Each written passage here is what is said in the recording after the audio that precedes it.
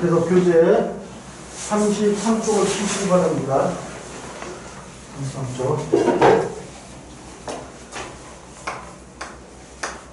네, 페이지 23. 자, 그래서 우리 지금 33쪽에 원작과 전작.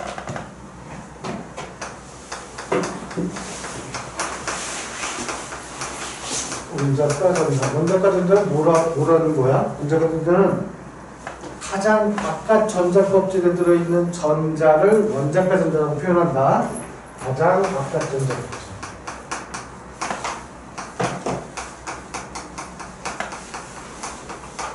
전자 껍질에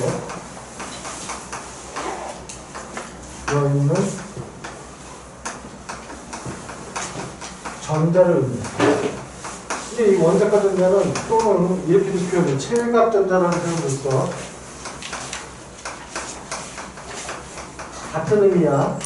원자과 전자와 체각 전자는 같은 의미라는 걸 기억을 해주시고요. 그래서 예를 들어서 17번, 아 11번 11번 나트륨 원자 이렇게 쓴다고 했고 여기는 자 좌측 하단에는 뭘 표현한다고 그랬죠? 원자 번호 좌측 상단에는 뭘 표현한다고 그랬어? 질량수라는 걸 표현한다고 그랬지 기억나? 얘는 질량수가 23이야 그럼 얘를 해석해보자 얘는 우측 상단에 아무런 표현도 없네 표시도 없네 그러면은 원자야 이온이야 원자란 얘기죠? 원자는 전기적으로 뭐다? 중성이라고 그랬어 맞아? 그럼 얘는 양성자가 몇 개 있다는 얘기야 지금 오래돼서 까먹었나? 원자 번호는 뭘로 결정한다고 그랬어? 양성자 수 또는 전자 수로 결정한다고 그랬지 왜? 원자는 정기적으로 중성이니까 양성자 수만큼 전자를 갖게 돼 양성자는 어디에 있어? 원자 행 안에 있다고 그랬어 원자의 크기를 대략 이런 내가 크기를 표현할 때 이렇게 얘기했어 여기부터 도농역까지 반지름으로 원을 그릴 때 이해되시죠? 탁구공만한 게 그 원에 있는 탁구공만한 게 원자의 크기야. 나머지가 원자의 크기고 이해됐어 무슨 말인지? 때그 원자의 안에 양성자가 들어간다고 했어. 기억나지? 얘는 양성자 몇 개 있다? 11개 있다. 근데 얘는 중성자는 몇 개 있다는 얘기야. 질량수는 어떻게 구한다고 했죠? 양성자 수 더하기 중성자 수로 질량수 23이 나와야겠지? 그러면 중성자 몇 개 있다는 얘기야? 12개가 있다는 얘기지 지금. 이해돼? 12개. 그럼 얘는 전기적으로 중성이니까 전자도 몇 개 있다는 얘기야? 11개가 있어야지만 전기적으로 중성이겠죠. 왜? 양성자는 플러스 전할 때고 전자는 마이너스 전할 때니까. 이해됐지? 무슨 말인지? 그럼 얘를 원자과 전자가 몇 개 있는지 한번 따져보자. 그러면 원자과 전자를 따질 때 원자에게는 지금 플러스 값이 몇 개 있다는 얘기야. 11개 있고 첫 번째 전자 껍질에 전자가 몇 개 들어간다? 가원아 첫 번째 전자 껍질에 전자 몇 개 들어가? 너무한다 진짜 이게 좀 첫 번째 전자 껍질에 옥텟 규칙 기억 안 나는구나. 다시 해줄게 그래. 여기 첫 번째 전자 껍질에 전자가 두 개 들어가. 그래서 옥텟 규칙도 같이 정리해줄게. 옥텟 규칙 옥텟이라는 건 숫자 몇을 의미한다? 8을 의미하는 거지? 전자 껍질에. 전자 껍질이라는 건 전자가 다니는 길 이렇게 이해하면 돼. 전자 껍질에 전자 8개 채우는 규칙.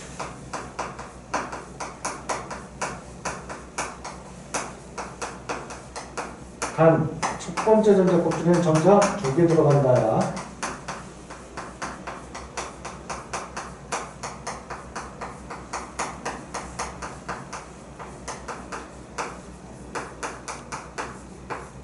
그런데 옥텟 규칙을 왜 얘가 중요하냐면 만족하냐 못 만족하냐가 중요하다고 그랬죠?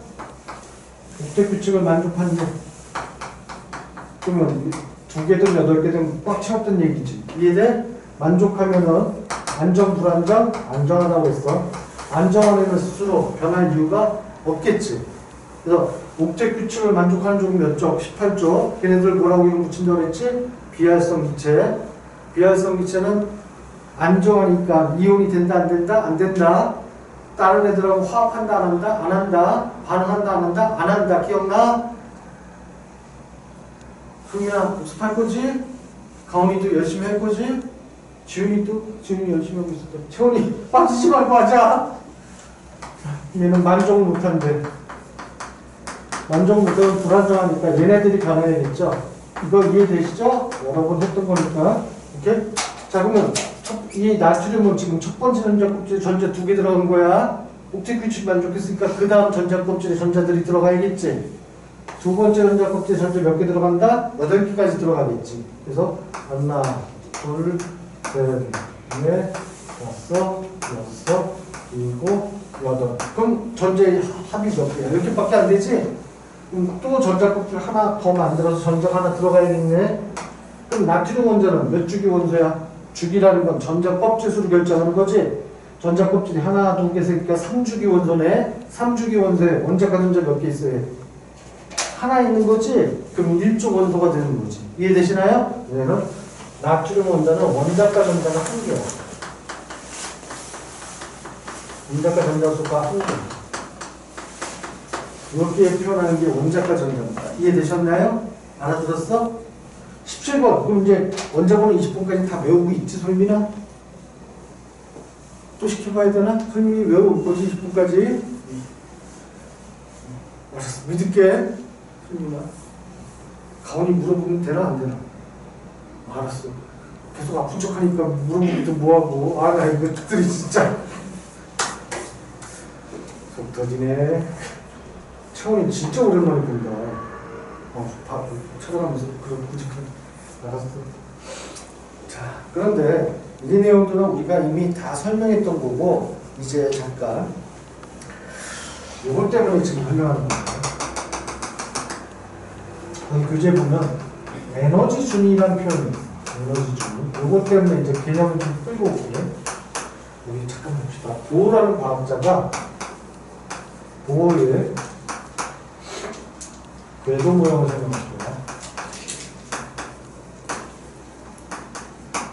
근데 내가 한번 예전에 원자 모형 변천에 대해서 설명한 적이 있는데 기억은 안 나지?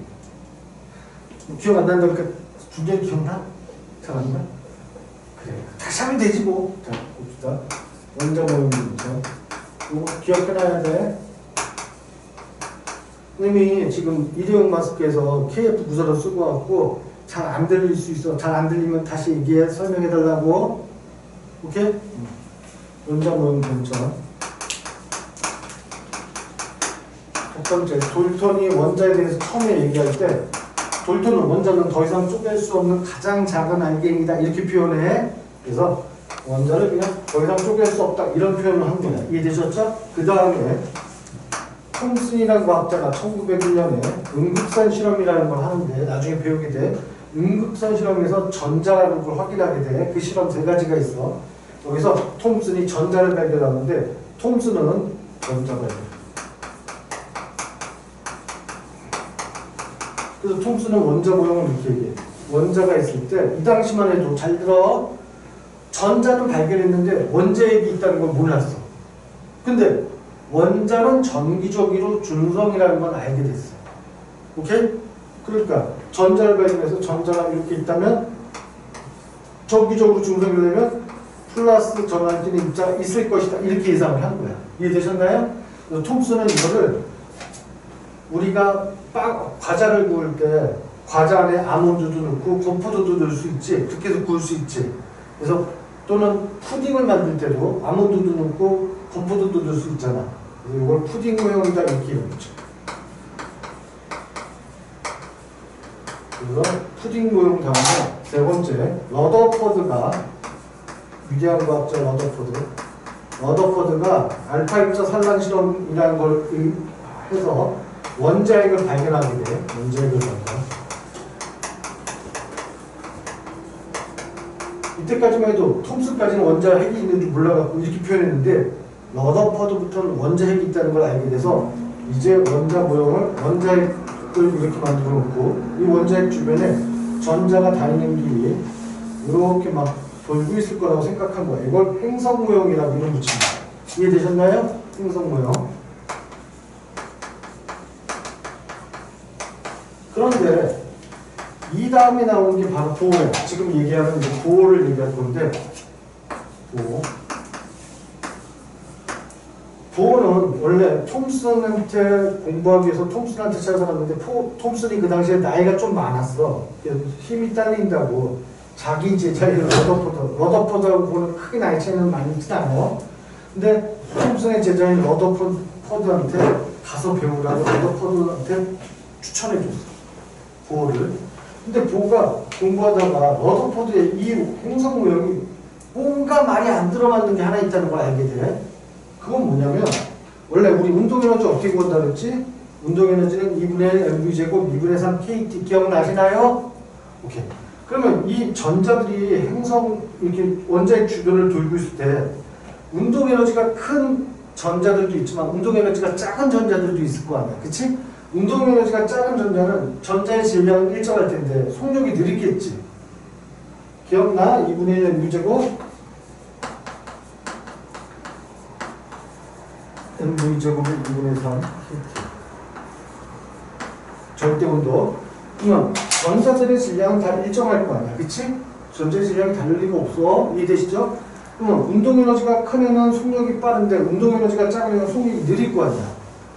속력이 느린 애가 이 안에서 돌다가 느리게 천천히 돌면 원자핵은 무슨 전하를 띄고 있다? 플러스 전하. 전자는 마이너스 전하를 띄고 있지. 그럼 속력이 느리는 언제인가? 잘못하면 이 안으로 끌려 들어가. 이해되시나요? 전자가 소멸하는 현상이 발생할 수 있을 때 행성 모형. 이해되는데 그래서 러더포드의 원자 모형은 나중에 또 하겠지만 전자의 소멸이라는 현상이 발생해요. 그런데 아무리 원자를 보더라도 전자를 잃고 얻고는 할 수 있어. 그래서 양이온이 되건 음이온이 될 수도 있지만 전자가 소멸되는 건 없다는 얘기야. 보어가 보기 이해되시나요? 그래서 보어는 요 행성 모형에서 약간 개념을 달리해. 원자핵이 이렇게 있을 때 원자핵 주변에 태양을 중심으로 수성, 금성, 지구, 화성, 목성, 토성 얘네들이 모여 갖고 돌아. 자기 궤도를 갖고 돌면은 느리게 돌더라도 태양한테 끌려갈 일은 없겠지.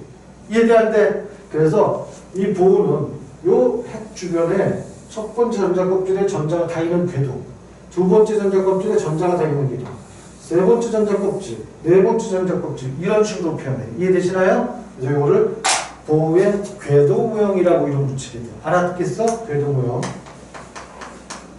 그래서 이 궤도 모형을 잠깐 설명할 건데 여기까지 와야지 저 에너지 주의라는 게 뭔지 설명할 수 있기 때문에 그래. 이왕 나왔으니까 마지막 현대는 이 보호의 원, 궤도 모형이 틀리진 않아. 틀리진 않은데 나중에 다시 얘기하겠지만 이 보호가 궤도 모형을 만들 때는 수소 원자를 갖고 이 개념을 만들어요. 보호는 실제 이 실험을 한 적은 없어. 사고 실험이야. 사고 실험이라는 게 뭐야? 머릿속에서 논리력과 추리력을 만든 실험을 사고 실험이라고 해. 천재들이나 할 수 있는 실험이야. 뉴턴이라든지 갈릴레이 같은 사람들. 이 보호가 사고 실험에 의해서 수소 원자를 갖고 얘기하는 거야. 그런데 후대에 다른 과학자들이 수소 원자가 아닌 다전자 원자, 다전자 원자라는 건 전자를 두 개 이상 갖고 있는 원자들인데 헬륨이라든지 그 이상은 다, 다 다전자 원자가 돼. 이해되시나요? 걔네들이 갖고 수, 실험할 때 약간 다른 수치들이 여기서 나와. 그래서 현대에는 이렇게 표현해. 원자핵이 있을 때 원자핵 주변에 전자들이 발견된 확률이라는 개념으로 전자들이 발견될 때마다 점을 찍어. 점을 찍어. 그 현재 이 위치에서 전자가 발견될 확률은 얼마? 이 위치에서 전자가 발견될 확률은 얼마? 이런 식으로 점을 찍어서 표현합니다. 무슨 말인지 이해되겠어요? 이거 무슨 말인지? 그렇다면 이게 전자 구름처럼 보인다 그래서 현대는 전자 구름 모형 또는 오비탈 모형이라고 나중에 배우게 될 거야. 전자 구름 모형. 또는 오비탈. 오비탈 모형. 이렇게 배울 건데 확률의 개념이야. 확률의 개념. 현재 원자 모형은 확률의 개념이야. 어쨌거나 이게 원자 모형의 변천이라는 거 꼭 좀 기억해 놓으셔야 됩니다. 어차피 시험 나올 거니까. 자, 그럴 때 이제 그 어, 에너지 준입 때문에 표현하는 건데 요거 요거 지워도 되지? 요거는 우리 처음부터 수업했던 거니까 저 줄게. 자, 잠깐 보자. 그럼 보호는 아까 얘기했듯이 원자핵이 이렇게 있을 때 원자핵 주변에 첫 번째 전자 껍질, 두 번째, 세 번째, 네 번째. 전자껍질, 자, 주기는 몇 주기까지 있어? 주기율표에. 준현이 물어봐도 돼? 물어보지 말까? 주기는 7주기까지 있다. 전자, 조금 몇 주까지 있다고 그랬어? 18주까지 있는 거야. 그러면 주기가 7주기까지 있다는 건 전자껍질이 7개면 끝난다는 얘기야. 이해되시죠? 오케이. 자, 그런 내용 보자. 첫 번째 전자껍질을 K, 두 번째를 L, 세 번째를 M, 네 번째는 N 이런 식으로 전자껍질 이름을 붙일 거야. K, L, N, N 이런 식으로 이해되셨죠? 첫 번째 껍질 또는 N1, 두 번째는 N2, N3, N4 이런 식으로 이름 붙일 거야. 이해됐어? 안 됐어? 됐어? 어, 자 그런데 이 부호는 수소원자를 갖고 얘기한다고 했지 수소원자. 그럼 수소원자는 전자 몇 개밖에 없어. 수소원자 원자 구성은 몇 번이야? 1번이죠. 그러면 전자는 하나밖에 없다는 얘기야. 이해돼? 전자 하나가 있으려면 나중에 또 설명할 텐데 전자는 가장 에너지가 낮은 단계부터 채워져야 돼. 그걸 싸움의 원리라고 그래. 싸타 할 때 싸타. 싸움 말고 싸타 할 때요. 이렇게 싸움의 원리에 의해서 에너지 준위가 낮은 쪽부터 전자가 채워질 거야. 에너지 준위가 여기가 제일 낮아. 오케이? 그래서 가장 이렇게 생각하면 돼. 원자핵을 기준면이라고 보자. 원자핵을. 오케이? 기준면이야 여기가 책상면이 기준면이야. 여기서 여기가 첫 번째, 여기가 두 번째, 여기가 세 번째, 네 번째, 다섯, 여섯, 일곱 이렇게 높, 높아진다는 얘기야. 이해되셨나요? 그럼 원자핵에 가까우면은 에너지 위치 에너지가 커 작아. 작겠네. 위로 올라갈수록 위치 에너지 값이 커지겠지 기준면에서. 이해돼? 또 하나 이것도 기억해도 얘가 만약에 여기가 N2래 그럼 얘는 어디까지 떨어질 수 있어? N1까지 떨어질 수 있겠지? 에너지가 높은 데서 낮은 데로 떨어지려면 에너지를 어떻게 해야 돼? 방출해야 돼. 이해되시나요? 근데 낮은 데 있던 전자를 위로 끌고 올라가려면 에너지를 높은 쪽으로 끌고 가려니까 에너지를 어떻게 줘야 돼? 공급해줘야겠지? 흡열이야. 에너지를 공급받는 것. 에너지를 방출하는 건 발열이야. 이해돼? 가오나? 여기까지 알아들어? 손민이? 자, 한번 봅시다. 이 전자를 쭉 끌고 올라갈 거야. 네 번째 전자까지 전자 네 번째 전자 껍질까지 끌고 올라갈 거야. 이해됐지? 그러면 에너지가 가장 낮은 상태에 있던 걸 우리는 바닥 상태라고 이름 붙여. 원래 바닥 상태에 있던 수소 원자에서 네 번째 상태 전자 껍질 네 번째까지 끌어올렸어 전자를. 그럼 요 올라가는 과정이 흡열이다 발열이다? 에너지를 공급받아야지 높은 에너지 쪽으로 올려보낼 수 있지? 요 과정은 흡열이라는 거야. 자, 그럼 요 빨간 상태는 원래 자기가 있어야 될 것보다 높은 곳에 올라갔다는 얘기네. 요걸 들뜬 상태라고 그래. 여기까지 이해되셨나요? 무슨 말인지? 알아들어? 그런데 얘가 다시 에너지가 낮은 쪽으로 이동할 수도 있지, 전자가. 또 하나 잠깐만 지금하고는 관련 없는데 이거 설명 좀 할게. 내가 이렇게 쭉 화살표로 보려고 그렸다는 게 얘가 점진적으로 쭉 올라온다 이 뜻은 아니야. 전자는 도약을 하게 돼. 그 얘기는 뭐냐면 여러분들이 내가 지금 수업하고 있는데 갑, 갑자기 눈, 눈도 깜짝 안 했는데 내가 지훈이 앞으로 훅 이동하는 게 없이 훅 갈 수도 있지. 이런 걸 도약이라고 그래. 우리 일상생활에서 아직 인간은 이 도약 현상을 인지를 못해. 그래 본 적이 없으니까 물체가 움직일 때는 항상 선을 따라 움직이든지 면을 따라 움직이는 것만 봐왔거든? 이해돼? 도약이라는 건 그게 아니야. 그냥 눈하고 있는, 말하고 있는 동시에 내가 갑자기 훅 가고, 훅 가고, 막 이러는 거야. 우리가 잘 인지를 못하는 상태야, 도약은. 이해돼? 이게 도약이라는 개념이 조금 어려워. 이렇게? 그런데 내용 특성, 도약이라는 건 이게 연속으로 움직인다는 게 아니야. 오케이? 연속으로 움직이는 게 아니야. 자, 근데 어쨌거나 얘가 도약을 할 거야. 그럼 N3에 도약할 수도 있고 N2에 도약할 수도 있고 N1으로도 도약할 수 있겠네. 이해되시나요? 이때 높은 에너지 상태에서 낮은 에너지 상태로 갈 때 에너지를 어떻게 해야 돼? 방출해야겠지. 그건 발열 과정이야. 근데 잘 들어. 자, 이걸 갖고서는 나중에 어차피 여기 자세히 설명할 텐데 이걸 갖고 보호가 이런 에너지 밴드를 만들어내. 여기 Y축을 에너지라고 표현하고 첫 번째 전자 껍질 N1 껍질 K 껍질이란 얘기죠. 이해되시나요? 두 번째 전자 껍질 N2 A 전자 껍질 세 번째 전자 껍질 N3 N4 그 다음 N 무한대까지 N 무한대까지 이렇게 표현할 수 있는데 전자 껍질을 이해됐지? 오케이? 이때 저기 있는 M4에 있던 전자가 M4에 있던 전자 빨간색으로 하자 M4에 있던 전자가 자 밑으로 내려갈 거야 오케이? 내려갈 때 여기에 갈 수도 있고 여기에 갈 수도 있고 여기에 갈 수도 있다는 얘기야 이해되셨나요? 그런데 요 사이에는 전자가 또 존재할 수가 없어 알아듣겠어요? 이거 무슨 말인지? 딱 정해진 에너지 상태로만 얘가 전자가 도약할 수 있다는 얘기야 이해돼? 그러면 이때 요 그래프 갖고서 실제 실험값에 의해서 요걸 계산해. 방출할 때 에너지, 방출할 때 에너지 또는 흡수할 때 에너지, 델타 E, 즉 에너지 차이라는 얘기야. 이해되시나요? 에너지 차이를 구하는 식이 마이너스, 마이너스는 에너지 방출이라는 뜻이야. 이때는 플러스 마이너스는 플러스는 에너지 흡수, 마이너스는 에너지 방출의 의미만 갖는 거야.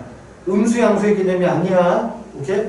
마이너스 n 제곱에 1312 킬로줄 퍼 몰이라는 요 단위는 좀 어려워가지고 모르, 모를 텐데 요 식을 실험 결과치를 알게 돼. 오케이. 그래서 에너지 여기가 N4에서 N3로 전 도약할 때 전자전이 이렇게 표현해. N4에서 N3로 전자전이 하면 내가 식을 설명해 볼게. 16, 4의 제곱, 16분의 1312 마이너스 3이니까 3의 제곱, 9분의 1312. 그 에너지 차이만큼 에너지 방출한다. 에너지를 흡수한다. 이 뜻이야, 이 식은. 이해되시나요? 이거 무슨 말인지 알아듣겠어? 채영이, 지윤이, 가은이, 솔민이, 진우, 준열이. 확실하지? 자, 그럼 여기서 잘 봐봐. 이때 요 사이에는 못, 못 오고 요 정해진 에너지 값만 갖게 되는 거지 전자는. 이해되니? 이해돼? 그거를 에너지 준위 정해진 값 이런 뜻으로 표현합니다. 준. 전자는 에너지 준위가 정해져 있다는 뜻이야. 얘가 여기에 있을 때 이때 갖는 에너지 값, 여기에 있을 때 갖는 에너지 값, 그 에너지 값이 정해져 있다. 그걸 에너지 준위 이렇게 표현한다. 이해되시나요? 나중에 이거를 양자됐다 이런 표현을 해서 양자역학도 여기서 다 결부되는 거야. 지금 조금 중요한 얘기를 내가 한 거야. 에너지 준위가 뭔지의 표현에 대해서 이해되겠어? 이거 무슨 말인지? 좀 중요하니까 잘 알아둬야 돼. 그래서 결국 보호의 궤도 모형에 의해서 에너지 준위라는 표현이 나오는 거야. 갖고 있을 수 있는 에너지 값은 딱 정해진다. 오케이? 그래서 여러분 교재에 보시면요. 에너지 준위가 보호, 보호는 원자핵 어, 30장 쪽 하단 봐봐. 보호는 원자핵 주위의 전자가 특정한 에너지 궤도를, 에너지를 갖는 궤도를 따라 운동한다고 제안하였다. 이걸 에너지 준위 값이 정해진다. 이 뜻이야. 이해되셨죠? 2번 에너지 주위는 전자는 원자핵 주위의 궤도에 존재할 수 있으며 궤도에 따라 특정한 에너지를 갖는다. 딱 정해진 에너지를 갖는다는 뜻이야. 이해되시나요? 특정이라는 게 정해진 에너지라는 뜻이야. 이때 전자가 가질 수 있는 특정한 에너지를 뭐라고 표현했다고? 에너지 준이라 에너지 준이 박스 쳐놓으시기 바랍니다. 표현 이해됐어 준열아? 에너지 준이 표현? 네. 어, 진우, 풀민, 가은이, 지은이, 채영이 꼭 기억하자. 그래서 이거 하나 설명하려고 여기까지 끄집어낸 거야 지금 이해는 근데 이 내용을 앞으로 이제 조금씩 더 심화가적으로 설명해야 돼. 오케이? 그래야지만 공부가 가은이? 어, 나한테 사인 보낸 거 아니야? 아직 선생님한테 막못 알아듣는 거라든지 쌤 저기 잠깐 힘들어요 그러면 사인 보내 내가 다 알아봐 줄게 아, 좀 전에 손가락을 이러길래 나한테 사인 보내고 그랬어 시그널 후, 아 뭐야 있는데 주체 주체 자 아 됐고 33쪽에 전자껍질 3번. 전자가 존재하는 궤도를 전자껍질 이해되시나요? 전자가 다니는 길을 전자껍질이라고 합니다. 이해됐지? 오케이? 전자껍질마다 에너지 값이 같다 다르다? 수민이 대답해봐. 전자껍질마다 에너지 값이 같다 다르다? 다르다야? 왜? 특정한 에너지 값이 갖는다고 했잖아 이제 첫 번째 전자 껍질이 갖는 에너지는 여기. 두 번째 전자 껍질이 갖는 에너지는 여기. 특정에 이해되셨죠? 그걸 에너지 준이라고 했어. 자, 그래서 전자 껍질 다 설명한 거고요. 33 쪽에 보충란 보시면요. 현대 원자 모형에도 전자 껍질이 주- 존재할까? 사실은 이건 기- 전자 껍질이 존재해. 그런데 여기 보자. 이 보호의 궤도 모형이 아까 얘기했지만 수소 원자일 때다 맞아 들어가는데 여기 잘 잠깐만 못 알아들을 것 같긴 한데 잠깐만 한번 설명해 볼게요. 보자. 수소 원자일 때 이게 딱딱 맞아 들어, 들어가는데 다전자 원자 예를 들어 서 8번 산소 원자 같은 경우에는 여기 있던 전자가 하는데 요 사이에 딱 멈추는 경우가 있더래. 처음에는 실험자들이 어뭐 잘못했나 보다 내가 그 다 실험하는데 여기에도 멈출 수 있고 여기에서도 멈출 수 있고 몇 가지 경우들을 알게 돼.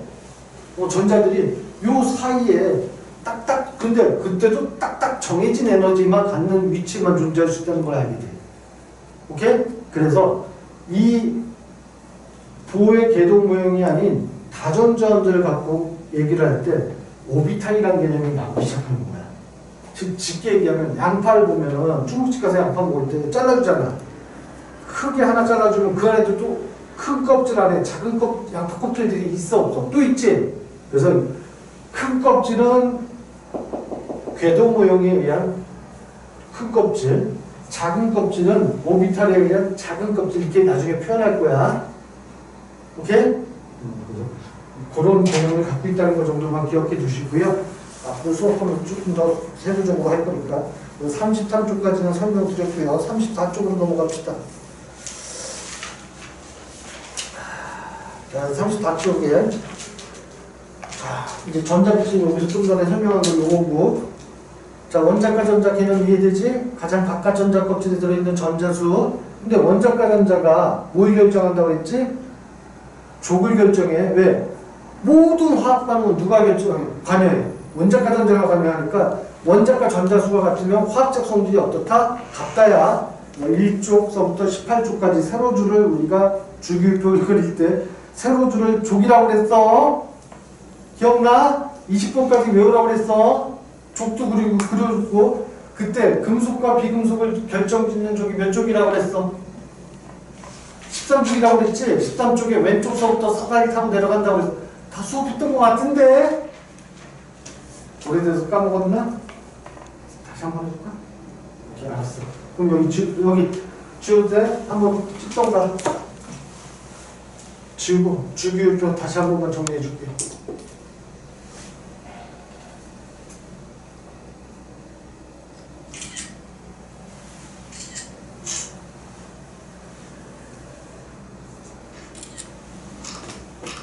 오케이, 지웁니다.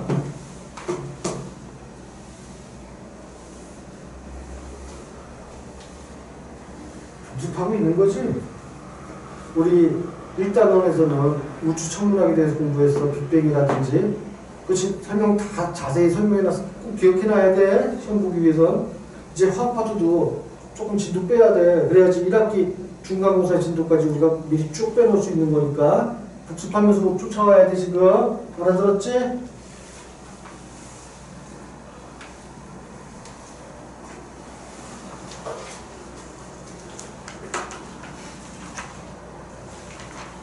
네, 주기율표 오랜만에 또 한번 다시 한번 해보자. 주기율 결정은 우리 예전에 설명했었어. 이렇게 데베라인, 그러니까 제일 먼저 데베라이너의 세쌍함석을, 율렌즈의 옥타브설, 그다음 멘델레프의 주기율표, 오즐리의 주기율표까지 정리해놨는데 채원이가 갑자기 너무 빠져갖고 뭘 수업을 들었고 안 들었는지 기억이 안 나요. 열심히 해. 자, 주기율표. 주기율표에 원자번호 20번까지 꼭 외우라고 제가 그랬습니다. 한번 적어볼게. 수소가 1번.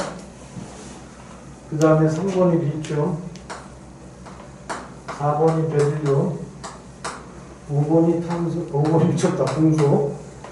6번이 탄소. 7번이 질소. 8번이 산소. 9번이 플로린. 10번이 네온, 2번이 항유. 자, 3, 11번이 나트륨, 12번이 마그네슘. 이거 여러 번 했어. 이제 제발 외워야 돼. 계속 이것만 하다 시간 잡아먹을 수 없으니까 이제 마지막으로 끝낼 거야. 이거 꼭 기억해야 돼. 13번이 알루미늄, 14번이 금속, 15번이 인, 16번이 황, 17번이 염소, 18번이 아르곤, 19번이 칼륨, 20번이 칼슘. 그래서 표를 만들면 이렇게 될 텐데.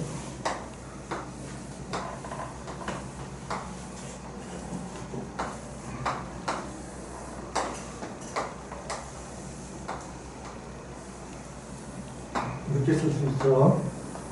20번까지, 20번까지 꼭 외우시라고 그랬고요. 자, 이거 봅시다. 이때 요 세로줄을 우리는 족이라고 이름 붙여. 세로줄을 족이라고 이름 붙여. 그리고 가로줄을 죽이라고 이름 붙여. 가로줄을 죽이라고 이름 붙이는 거야. 자, 그럼 주기부터 먼저 보자. 주기는 뭐가 결정한다고 했지 아까? 전자 껍질수를 결정하는 거야. 전자 껍질이 하나 있으면 1주기, 세 개 있으면 3주기. 이해되시죠? 아까 나트륨 먼저 모형 그렸었잖아. 기억나? 주기는 전자 껍질 수를 결정하는 거야.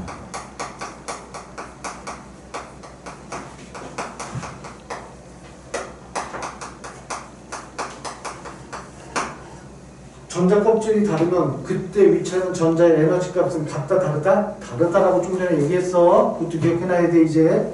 에너지 준위가 다르다 이렇게 표현하는 거야. 전자 껍질마다 갖고 있는 에너지 준위가 다르다. 자, 요 족은 누가 결정하냐면 얘는 원자과 전자가 결정. 원자과 전자 수로 결정해. 자, 그럼 한번 연습해 봅시다. 아까 12번 나트륨은 전자가 몇 개 있었다고 그랬지? 11개 있는 거지? 첫 번째 전자 껍질에 전자 두 개, 그 다음에 여덟 개. 그럼 세 번째 전자 껍질에 전자 하나 들어갔었지? 원자과 전자가 있는 몇 개야? 하나란 얘기야, 12번은. 원자과 전자 수를 적어보자. 한 개. 그러면 3번 리튬 전자 배치해보자. 첫 번째 전자 껍질에 전자 두 개 들어가지? 그럼 두 번째 전자 껍질에 전자 하나밖에 못 들어가지? 이 주기에 원자과 전자 하나니까 1쪽이라는 얘기야. 이해되시나요? 19번 칼륨 해보자. 19개가 2개, 8개, 8개 합이 몇 개야? 18개지. 288이면.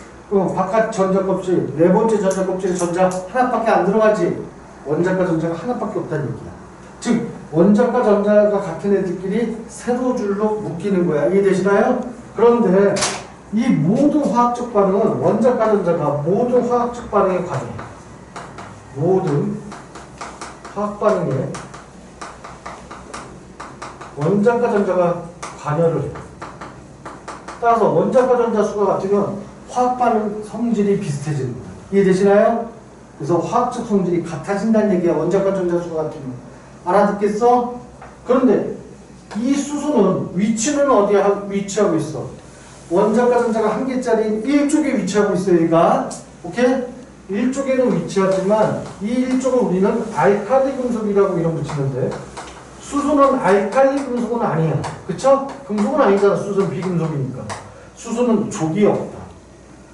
이해되셨죠? 수소는 족이 없어. 그래서 알칼리 금속은 리튬, 나트륨, 칼륨, 루비듐, 세슘, 프라슘 이런 금속들이 있는데 곧 설명해야 돼. 알칼리 금속 시험 문제 잘 나와. 그래서 설명할 거야. 요 세로줄을 족이라고 이름 붙이는 거예요. 이해되셨나요?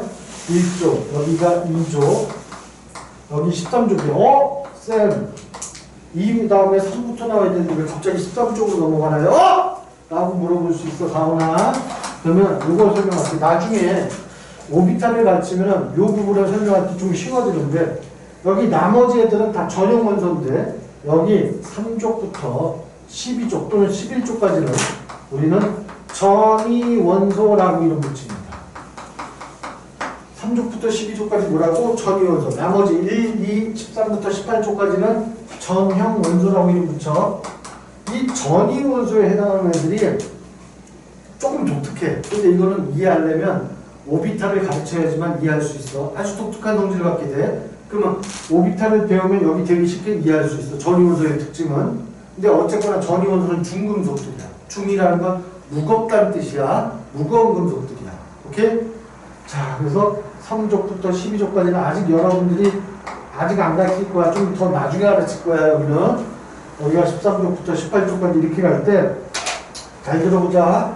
이때, 금속과 비금속을 구분 짓는 족은 13족입니다. 그렇죠? 13족의 왼쪽서부터 사다리 타고 내려가서, 이렇게 사다리 타고 내려갈 때, 13쪽의 왼쪽은 금속에 해당되고요. 오른쪽은 비금속에 해당됩니다. 그럼 금속과 비금속으로 구분졌다는 얘기는 구분 기준이 있다 없다? 있어야 돼 구분 기준이. 요 구분 기준이 뭘까? 둘의 구분 기준. 자유전자입니다. 자유전자가 있으면 금속, 없으면 비금속이라는 뜻입니다. 알아듣겠어? 그럼 자유전자가 있으면 물리적인 특징이 뭐가 생겨? 전기를 통하게 해주지 전기전도성이 갖게 돼. 금속은 그래서 전기전도성이 있어. 또 전자들의 충돌에 의해서 에너지를 이동시켜줘. 그걸 전도라고 그래, 열전도. 이해되시나요?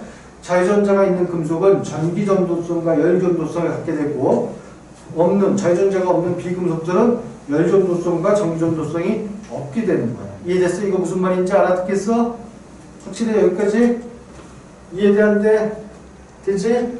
1번부터 20번까지 외우는 방법 알려줬지? 수혜리 BBC 노프네 남아의 신앙의 마크가 꼭 외우자 이제 오케이? 자 이때 또 하나만 추가하자 요 17쪽 여기가 17쪽인데 17쪽도 반드시 시험 문제 나오기 때문에 자세히 가르칠 거야 이제. 거기서부터 얘를 이름을 뭐라고 이름 짓는지 얘 이름도 기억해야 돼. 얘를 할로젠족이라고 이름 붙여. 할로젠족.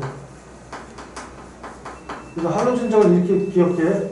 따라해 풀연부화 시작 플염브아 플로린, 염소, 브로민, 아이오딘 앞글자만 따서 플염브아 이렇게 외우는 거야.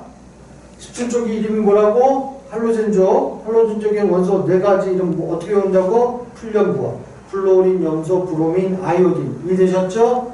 그럼 브로민은 몇 쪽이? 4죽이란 얘기야. 아이오딘은 그 밑에 있으니까 5죽이란 얘기야. 이것까지는 기억하자. 원자부로 얘네들은 알 필요 없어. 나중에 안 외워도 어떻게 찾아내는지 알려줄 거야. 조금 더 배우면. 저기 정의문서 가르치면 설명하는 그런 거니까 그 다음 여기 18쪽도 이름 외워야 돼. 18쪽은 이 18쪽은 한번 보자. 어 원자과 전자수 안 정해놓고 어쨌거나 18쪽은 비활성 기체라고 이름 붙여. 비활성 기체 자, 원자과 전자 맞아? 다 계산해보자. 20번 칼슘은 288 2개. 12번 마그네슘은 282 원자과 전자 2개. 13쪽 애들은 5번은 23 13번도 283 3개. 16번은 탄소는 24 14번 규소도 284 4개 여기 질소하고 인도 5개 황하고 산소도 6개 17쪽 할로젠족은 7개 18쪽 비활성 기체들은 원자과 전자 몇 개? 8개라고 보면 안 되지 0개라고 해야 돼 이해되시죠? 얘는 0개야 근데 체각전자로는 8개, 2개 이렇게 표현한다고 했어 맞아? 어쨌거나 얘는 0개라는 얘기는 옥제 규칙 만족했다 못했다? 만족했다죠? 옥제 규칙을 만족하면 안정 불안정? 안정화 됐죠? 안정하면 화합한다 안 한다? 안 한다 발음한다 안 한다? 안 한다 이온화 된다 안 된다? 안 된다 이해되셨나요? 오케이?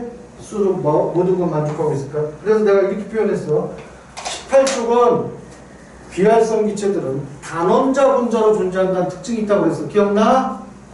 18쪽은 단원자 분자로 존재해 이 표현이 무슨 의미를 갖는지 한번 보자 단원자 분자로 존재한다 원자 하나 있어도 분자로 취급한다는 얘기다. 즉 그 얘기는 헬륨 이렇게 써놓으면 얘를 두 가지로 읽을 수도 있어. 헬륨 원자 또는 헬륨 기체. 헬륨 기체라는 건 분자라는 뜻이야. 이해되시나요? 알아듣겠어? 얘는 헬륨 원자로 봐도 되고 헬륨 기체 그러면 헬륨 분자로 보는 거야.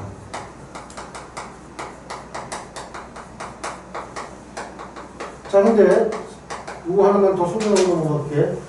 아이! 우리가 원자간 결합을 이름을 뭐라고 이름 붙였어? 화학결합이라고 이름 붙였지. 맞아?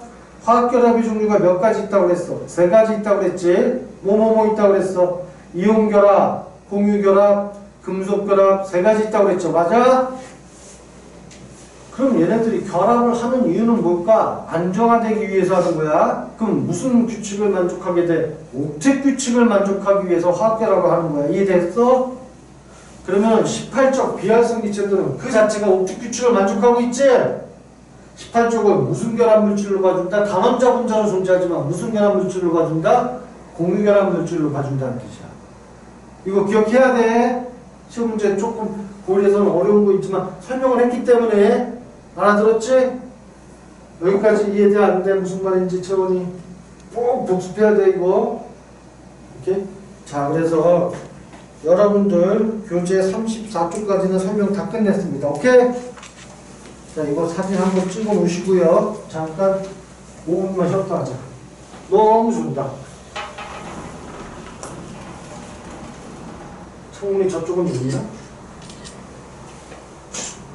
그쪽 안 열리는가? 여기 다 플래카드 있어서 안 열리나 안 열리? 아 그게 아니라 플래카드 있어서 여는 거나 안 여는 거나 똑같아. 닫아놔 추워 이쪽만 열어놓을게. 잠깐 5분 쉬었다 하자.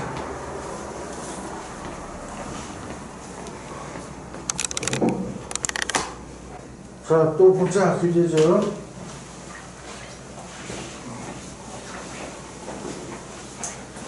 규제 34쪽 문제 좀 풀어줄게. 같이 좀 봅시다. 34쪽 하단에 개정확하게 1번 다음 가로 안에 들어갈 알맞은 말을 쓰시오. 1번 모든 물질을 구성하는 가장 기본적인 성분. 그러면 1번의 기억은 뭐가 들어가야 돼? 물질을 구성하는 가장 기본적인 성분. 물질은 의해서 만들어진다고 했지? 원자 간 결합에 의해서 만들어진다고 했죠? 그럼 근데 얘는 입자를 물어본 게 아니고 성분을 물어봤지 그러면 기억은 뭐라고 답해야 돼? 원소라고 얘기해야겠지. 이해돼? 이거 무슨 말인지? 선생님이 이렇게 얘기했었어. 예를 들어서 대한민국에 이 고일이 30만 명 있다고 예를 듭시다. 몇 명? 30만 명. 그 중에 솔민이, 진우 다 다른 학생이지. 그러면 이거 하나하나가 원자의 개념이고 고1이라는 대표를 우리는 원소라고 표현할 수 있다고 했지. 맞아? 그래서 성분이라는 얘기가 들어가니까 기억은 원소라고 답해야 돼. 이해되셨죠?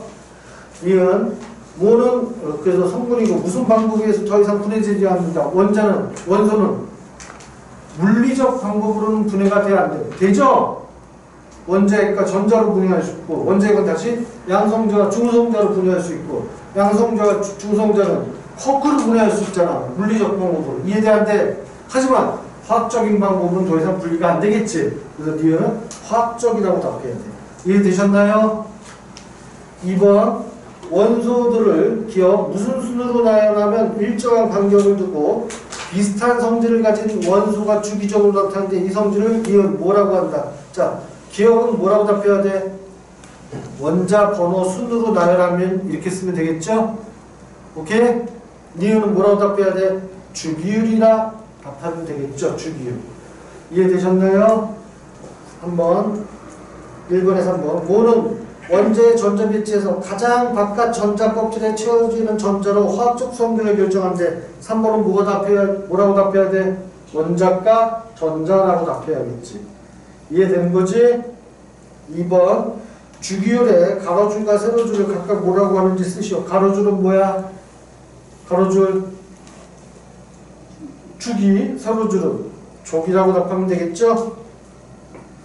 3번 원자 번호가 6번인 탄소의 전자 배치에서 첫 번째 전자 껍질과 두 번째 전자 껍질에 채워주는 전자수를 순서대로 쓰죠. 첫 번째는 몇 개 채워졌어? 두 개. 두 번째는 몇 개 들어가면 돼? 네 개 들어가면 되겠죠. 이해되시나요? 4번 주기율표에서 같은 족 원소로 원자과 전자수가 같은 원소 자 같은 족에서 원자과 전자가 같은 원소를 뭐라고 그런다? 동족 원소 같은 족에 있다 동족 원소 이해되시나요? 응? 알칼리 금속 동족 원소는 누구 있어? 리튬, 나트륨, 칼륨, 루비디움 그렇게 얘기하는 거야 이해되지? 자 35쪽에 1번부터 보자 너 숙제 낼까? 아니면 내가 풀어줄까? 소민아 숙제 내줄까? 풀어줄까? 숙제 가는 게 좀 낫지 않을까? 내가 풀어줘 여기서? 주인이는 어떻게 주고? 그래 숙제. 오케이. 꽝꽝꽝 숙제. 가오나 숙제 생겼다. 제또 숙제 안 하려고 통장입니다. 아 나 진짜. 그래서 모르는 건 안 풀어도 돼. 내가 설명할 거니까 30초까지 풀어보시고요. 모르는 건 나한테 질문한다. 오케이? 까물라면 안그 눈으로만 보고 와 내가 풀어줄 테니까 다 질문해도 돼 알았지? 근데 보고는 와야 돼 가오나. 음, 많이 힘들어 지금? 휴증은 아니지? 그냥 노곤한 것 같아. 따뜻하니, 패딩도 있고, 얼마나 좋아, 따끈따끈하니. 그동안 공부도 안 했으니, 머리도 잘안 들어갈 것이고, 아주 잠자기 좋은 상태네, 지금. 가오리 진짜. 자, 38쪽. 3시간, 거의 20분밖에 안, 20분도 채안 넘네. 자, 여기 보자. 알카리 금속부터 이제 설명할 거야. 이제 좀 잘 들어야 돼, 이제부터. 왼쪽으로 페이지 38쪽 알칼리 중소. 자 알칼리 금속은 얘네들이야 리튬 나트륨 칼륨. 이것도 기억해도 루비디움 세슘 프라슘까지 있는데 얘가 몇 줄이야? 2, 3, 4, 5, 6, 7줄이야. 이해되시죠? 수소는 알칼리 금속의 제일 위쪽에 있지만 얘는 알칼리 금속이 아니니까 빼는 거야. 그런데 여러분들이 실제 요 프란, 요건 이름이 프란슘이야. FR. 프랑스를 기념해주기 위해서 프란슘 이렇게, 어, R자가 왜 안 써져? 프랑스를 기념해주기 위해서 프란슘이라는 원소를 만든 거거든. 이름을 붙여준 거거든. 이런 원자번호 한참 커. 100, 100번 넘어가. 그런데 잘 들어봐. 얘는 밑으로 갈수록 여기 보자. 아, 요거까지 설명해주면 좀 시간 걸릴 텐데. 밑으로 갈수록 어떤 특징이 있는지 설명할게. 자, 하나하나 내려갈 때마다 전자껍질이 하나씩 계속 추가된다는 얘기지. 이해돼? 근데 원자까지가 하나밖에 없지? 이해돼? 안 돼? 그러면 원자과 전자 하나를 띄어낼 때 양면이 되는 거지. 이해되니? 무슨 말인지? 누가 더 양면이 되기 쉬운지 한번 생각해보자. 얘는 작은 껍질에 전자가 하나 있고 얘는 아주 많은 큰 껍질에 전자가 저쪽 바깥에 하나 있는 거야. 누가 전자 띄어내기 더 쉬울 것 같아? 리튬에서 전자 띄어내기가 쉬울 것 같아? 프란슘에서 전자 띄어내기가 더 쉬울 것 같아?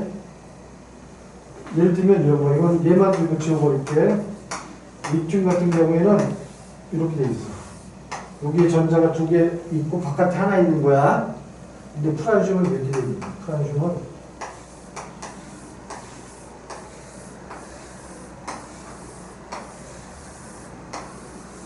이렇게 했을 때 여기 있는 전자 하나를 띄어낼 거야. 이해돼 무슨 말인지?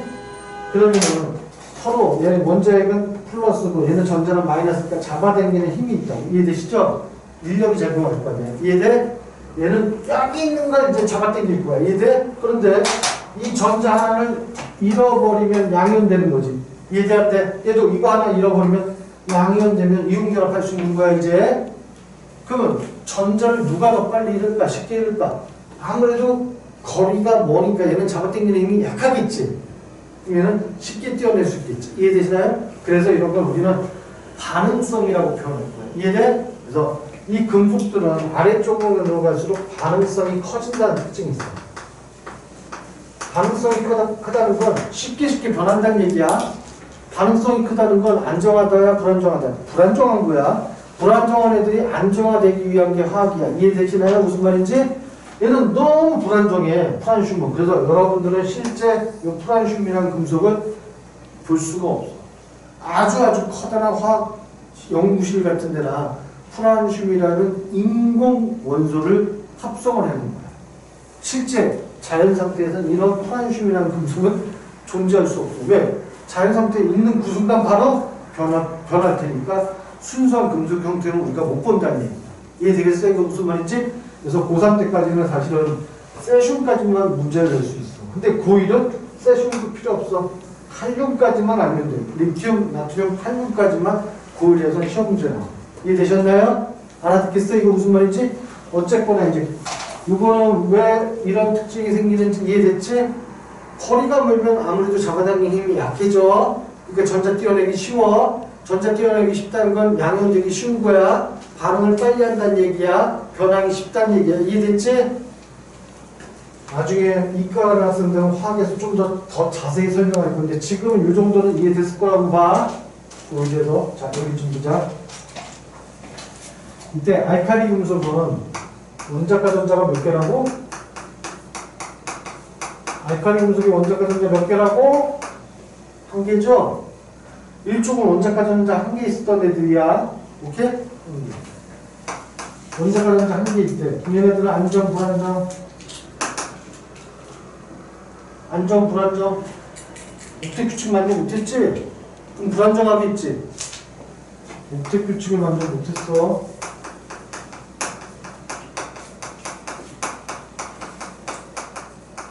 그래서 불안정이죠.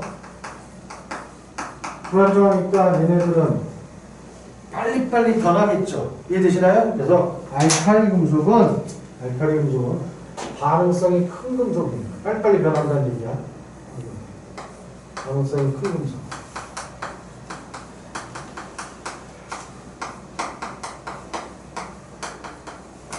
얘네가 이족 금속보다도 반응성이 훨씬 더 금속 중에서 가장 반응성이 큰 게 알칼리 금속이야.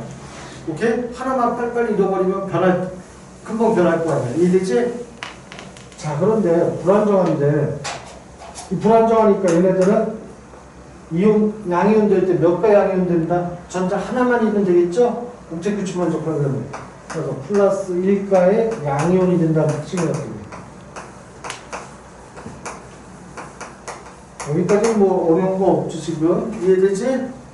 자 리튬, 나트륨, 칼륨 밑으로 갈수록 반응성이 어떻게 되고 있다? 증가한다는 거야 금속의 반응성 밑으로 갈수록 증가해 자 근데 이 반응성이 크다는 게 어떤 의미를 갖는지 조금 더 세부적으로 볼게 얘는 공기와 반응 잘하고요 공기 중 산소와 반응 잘하고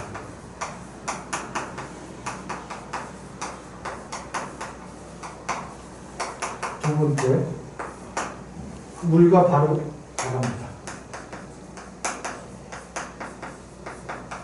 자, 이거를 반응식으로 적어줄 테니까 꼭 좀 잘 보자.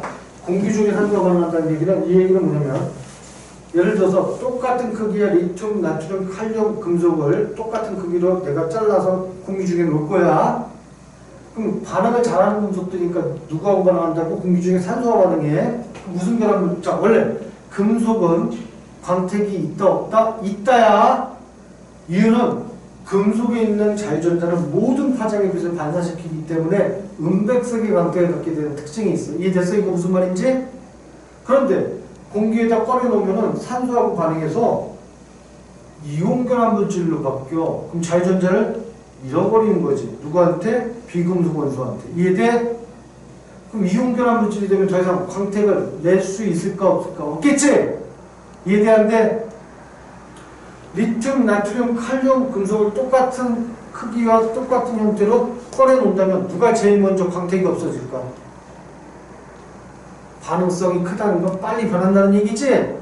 칼륨이 제일 먼저 광택을 잃어버릴 거야. 이해되시나요? 그 얘기를 하는 거야 지금. 그럴 때 반응식은 이렇게 돼. 자, 예를 들어서 나트륨이 높여놓을게. 나트륨이 산소하고 반응할 거야. 혹시 또 아직 2단계입니다. 나트륨이 산소하고 거야. 그럼 여기는 산화 나트륨이라는 게 만들어지거든. 산화 나트륨. 산화 나트륨이 화학식이 어떻게 되는지 보자. 나트륨은 이온이 되면 몇 가 이온 된다? 1가에 이온 되는 거야. 전자 하나 있으니까. 산소는 음이온이 되는 거. 근데 산소는 안정한 상태로 써줘야 되니까 산소 원자는 불안정해서 자연 상태 없어. 산소 분자로 있다. 반응할 때는 안정한 상태의 물질로 표현해줘야 돼. 이해돼? 산소 분자로 표현한 거야. 그러니까 산소 원자는 원자과 전자가 6개 있으니까 몇가 음이온 돼? 2가 음이온 되겠지. 이해돼? 그래서 얘는 Na2O라고 써야 돼. 이해되셨나요? 그래야지만 양이온, 1가 양이온이 전자 두 개 주고 산소가 전자 두 개 받는 안정한 화합물을 만드니까. 그런데 지금 이게 개수가 맞는지 안 맞는지 봐야겠지. 모든 화학 반응에서 원자의 종류와 개수는 항상 일치해야 된다고 했어. 맞아? 나트륨 원자 여기 하나니까 여기는 두 개 있죠. 안 맞네. 여기 산소 원자가 두 개 있고 여기는 하나 있으니까 산소 원자가 전체 두 개 있는 걸로 표현해야겠네. 그럼 여기다 2라고 쓰면은 나트륨 원자 이제 몇 개 있는 꼴이야? 네, 전체 4개가 있어야겠지? 이해돼? 그래서 여기다 4라고 써야지만 화학 반응식이 완성되는 거예요. 이해되셨나요? 그 반응식 꼭 좀 기억해야 된다. 따라서 공기 중 산소와 반응을 하면은 금속의 강택이 어떻게 된다? 사라집니다.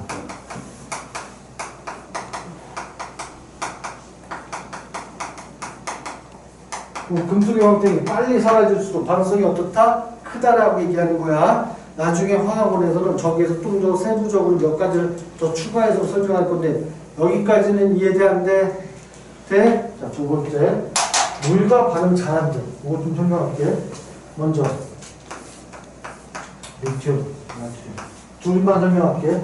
여기는 리튬 금속을 집어넣고 여기 도- 똑같은 물이 들어있어. 여기는 나트륨을 집어넣을 거야 지금. 나트륨 금속, 리튬 금속. 그럼 나 리튬 금속 이렇게. 나트륨 금속 이렇게 되어 있는데. 자 이게 차이가 뭔지 설명할게. 반응식부터 적어봅시다. 예를 들어서 리튬 금속이 물과 반응하면 이게 조금 어려운데 여기 잠깐 봐봐. 어쨌거나 이건 금속과 물이 반응하면 반드시 나오는 물질이 수소기체가 나와야 돼. 누가 나와야 된다고? 수소기체. 그럼 이렇게 수소기체. 혹시 알- 그, 그래서 리튬과 물이 반응하면 수소기체가 나와야 돼. 그럼 수소기체가 두 개 나왔지? 오케이? 그런데 여기 만들어지는 물질은 LiOH라는 물질이 만들어져야 돼. 이게 수산화 리튬이라는 물질이야. 수산화 리튬.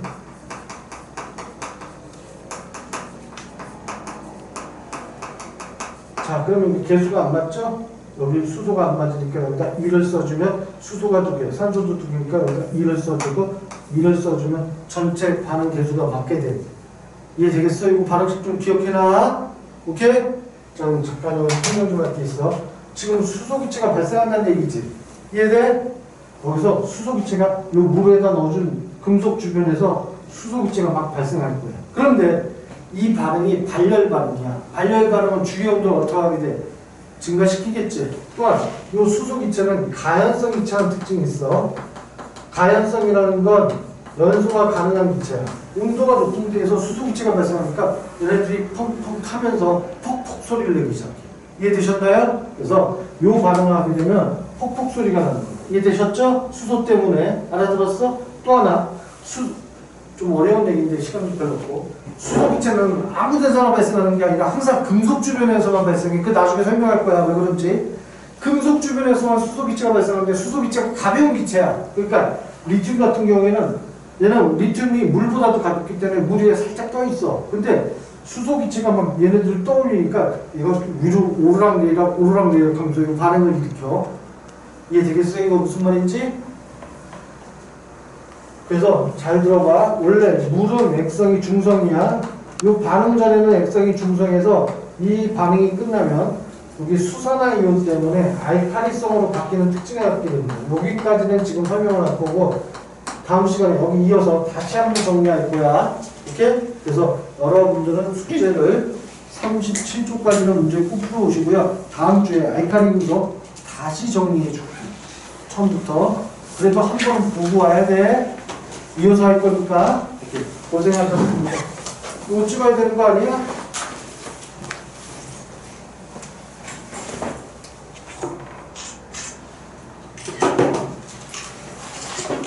자, 고생되었어. 다음 주에 봐.